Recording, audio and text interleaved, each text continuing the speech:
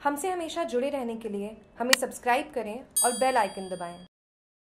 शनिवार से रोडवेज़ के हालात विकट बने हुए हैं अनुबंधित के लंबे रूट की बसों का संचालन इसलिए नहीं हो पाया क्योंकि संबंधित अनुबंधधारी मालिक की ओर से इन बसों पर लगे अपने ही कर्मियों को ना तो समय पर भुगतान किया जा रहा है, ना ही बसों की मरम्मत पर खर्च होने वाले बिलों का भुगतान किया जा रहा है इस समस्या को लेकर पिछले माह भी विरोध स्वरूप बसों का संचालन बंद कर दिया था, लेकिन बाद में मामला शांत हो गया।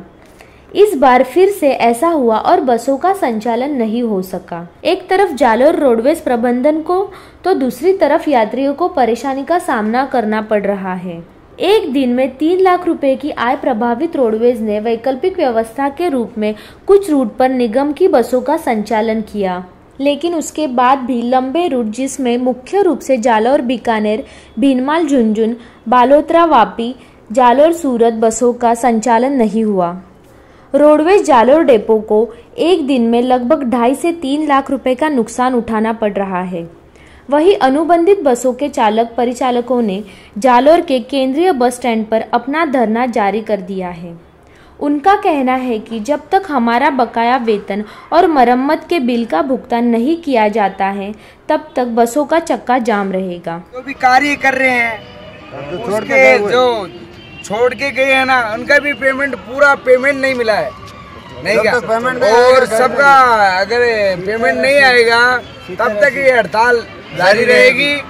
और जैसे मार्केट का जब पैसा है इस गाड़ियों के अंदर मुनीमू का जो मुनीम रखा है वो भी उसका भी पूरा नहीं हुआ। ड्राइवरों जेब के अंदर जो भी डाले हुए चीज़ें हैं बिल्कुल कुछ भी नहीं मिल रहा है और हड़ताल जारी है और हड़ताल जारी रहेगी। करीबन तीन चार महीनों से बाकी पड़े सरदार जी से हम बात करते हैं फ़ोन पर फ़ोन ही नहीं उठाते। कभी भी। जब एक्सीडेंट हो। जाए। कोई रिश्ते में हादसा हो जाए और हो जाए तो कोई हमारा सुनने वाला नहीं? है। करीबन चार महीने में वेतन पड़ा है देने के लिए। हम तो प्रशासन के पीछे हैं। ये सी नहीं करते हैं हम रोडवेज़ प्रशासन कहते हैं वैसे करते हैं। हाँ अभी रोडवेज़ अधिकारी कहते हैं अभी क्या करें खड़ी कर तो हमारे पास तो कुछ है नहीं। खड़े हैं हम। आप सरदार जी हमारी कोई सुनाई पूरी करते नहीं है। सरदार जी कौन है? सरदार जी पंजाब का है। पंजाब के हैं मोटर मालिक हम भी हाँ, मोटर मालिक है हम तो जानते हैं अपने प्रदीप सरदार है। प्रदीप है उनको जानते हैं जालोर से जागरूक टीवी की रिपोर्ट।